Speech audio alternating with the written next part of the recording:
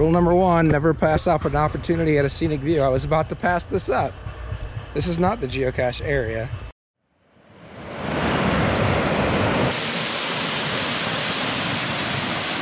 Here it is.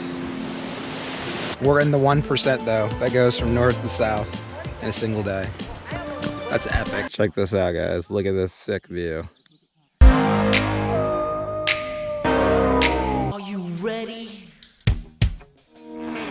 Yo YouTube, what's up? It's Triple P. How you guys doing? I'm out here at Brandywine Nature Park in Niles, Michigan, looking for a bunch of caches that involve hiking. Let's see how many of these we can find. Here we go. We're off to the races here in Niles, Michigan. I'm excited. We've got plenty of caches to find. They're all on this trail. And uh, according to the map, it looks like they're all very close or like right off of the trail, which that will be very nice. I'm hiking in, whoops, I'm hiking in shorts today and I only brought my water bottle. There's just a little bit of water in it. It's pretty hot out. I know one of these caches has a DNF on it, so I'm hoping I can bring you guys all the finds. We'll see if that works. The hint says sign. There's a small sign right here. Let's see if it's underneath the sign. It is. There it is. Got it. All right. We did it. Woo! We got the first cache of the video. Down the bike trail we go. That noise is so loud. It's all the way in the background. I don't even know what they're doing, but it's super loud. We're headed for a two difficulty 1.5 terrain hide. This is an other, other size container. I apologize for the noise. There's not much I can do about it. This little nature trail right here is nestled in to this little town of Niles. And uh, Niles has actually got a lot of geocaches here. So I would encourage people that geocache to come to this area and check it out. They've got all kinds of caches. They got earth caches, virtuals, traditionals, where it goes. They got all kinds of stuff. I'll see you guys at ground zero to make the find. Here we go. Rule number one, never pass up an opportunity at a scenic view. I was about to pass this up. This is not the geocache area, but this is a very lovely scenic view. Let's go check it out. Ooh, we got some bridges over there. Got some flowing water. Nice. Let's check upstream. Gorgeous. Okay, back to the cache. We are two feet away. Hey, check this out. This is a sassafras tree. Awesome. The, the description wanted us to go in the woods by a large rock, but there's no large rock. And then the hint told me something about a concrete slab. I'm not 100% sure what that means. I can tell you this, I am not finding it, but I am close to the cords. Cords actually put you like right on the edge of the woods. There's this huge tree over here. Let's go look over by this big tree. Whew, it's hot out. Okay, after probably like six to 10 minutes of aimless wandering, I think I found the right log with the broken concrete in the description, which is what this thing is right here. There's a fallen log right over here. I'm trying to dodge these stones. Okay, here's the concrete. God, what is on me? All right, here's the concrete here. There's this. What's this? Ah! The old fake rock maneuver. Classic, classic maneuver. Okay, we found it. Let's go to the next guy. Whew! That fake rock was tough. My GPS was all over the place on that hide. It had me like 61 feet away where you first saw me searching, and then it bounced me 61 feet back. That was tough. Okay, we're on to the next cache. It's a two difficulty, two and a half terrain, and it's a regular size box. I don't know what that means. I'm hoping for an ammo can. I love ammo cans. There's just something about them. Classic containers, they've been around for a long time. Most early, not all, not all, but most early caches, 2000 on to like eh, 2007.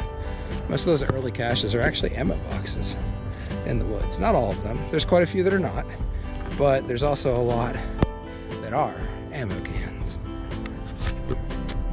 Fun fact, there are 112 year 2000 hides.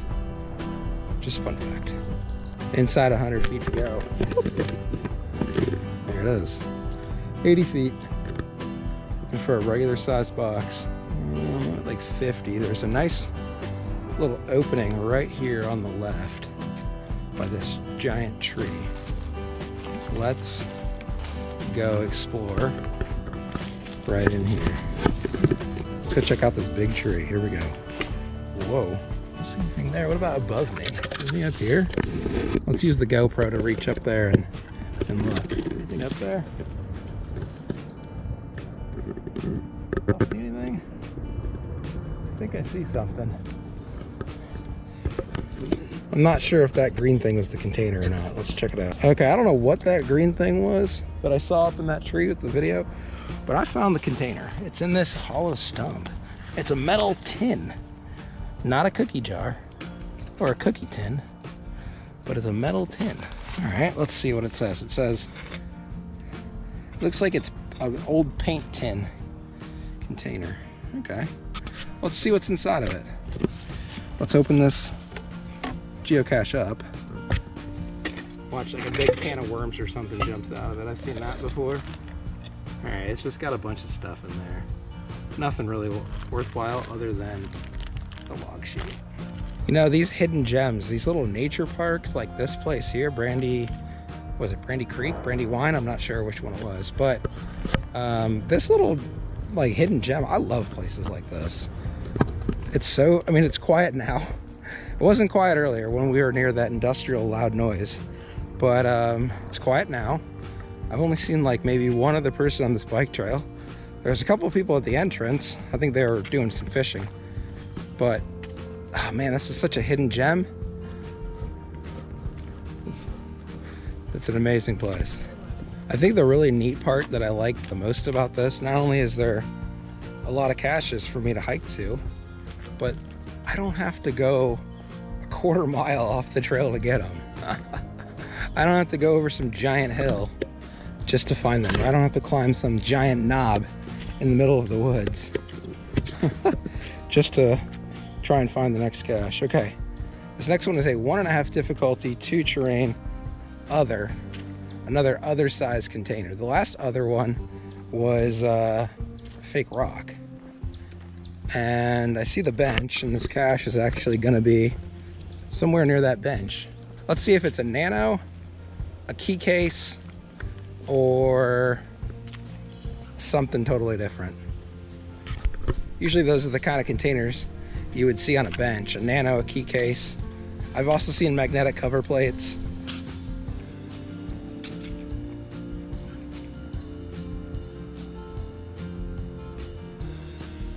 Got it. Ha If you put all your money on Nano, you just won your bet. This is a little black Nano. All right, it's that time in the video where we're headed to the one cache that has a DNF on it. This singular cache could determine if we find every cache in this weekend adventure. We do have one that's back at the parking lot that we haven't tried. That's coming up after this one. I wanted to skip that one because there was a bunch of people getting ready to go fishing or whatever. There's muggles right there at the parking lot. So this cache here has a DNF on it. It's a dun, dun, dun, one and a half difficulty, two terrain micro. The DNF is from September 7th, 2024. And that particular person has one find. They only have one cache. The person before them, 823 2024, they found it. So I've got a feeling that this one could be there. They just didn't know what they were looking for. Let's see if I'm right or if they actually did DNF it and it's missing. It has to be on this metal pole. That's my guess. I think I see it. Is this it here? This is it right here. Wow. That's pretty crazy. I'm not 100% certain how that person missed that high. It's not even a nano. I mean, it's got some size to it. It's just a plastic tube underneath the, the sign there. All right. We're back at the Brandywine Creek Nature Park sign. And I didn't know that, that the geocache was actually right behind where I started the video from. oh, that's just kind of ironic. All right, well, this is the last find of the video. We did it. We got everyone in the park. Let's wrap it up. Here we go. Thanks for watching. All right, this awesome scenic view right behind me is right. We're gonna wrap up this weekend adventure out here in Niles, Michigan. If you're not a geocaching with Triple P subscriber, I really hope you'll consider subscribing so you can help me reach my sub, sub goal of 340 subs. I'll see you guys out on the trail. Have a good one.